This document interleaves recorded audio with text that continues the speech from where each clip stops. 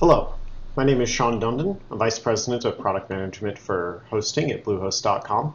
Today we're going to walk through enabling FTP on our dedicated or VPS server with cPanel. Before enabling FTP on your server, please be aware that it is recommended to use SFTP instead and to leave FTP disabled. FTP is an inherently insecure protocol and should be avoided when possible. Instead, we advise using SFTP. SFTP uses SSH as a tunnel to connect to FTP.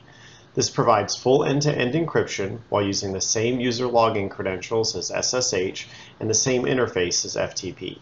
Nearly all clients support SFTP. Now let's proceed to enabling FTP on our server. To start with, we'll need to log into WHM. For that, we'll use the SSO link inside of our account manager. Once in Account Manager, click on WHM and you'll see this load up in a new tab. Now we're going to navigate to the FTP server selection. In the top left-hand menu, you'll see a Search Tools.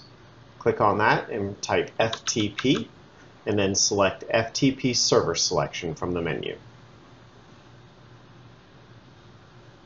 We recommend using Pure FTPD as your FTP server, so click the radio button next to that entry, and then click on Save.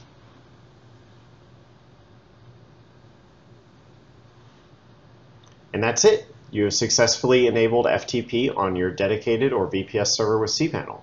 You can now proceed with creating an FTP account and connecting with your preferred FTP client. Thank you.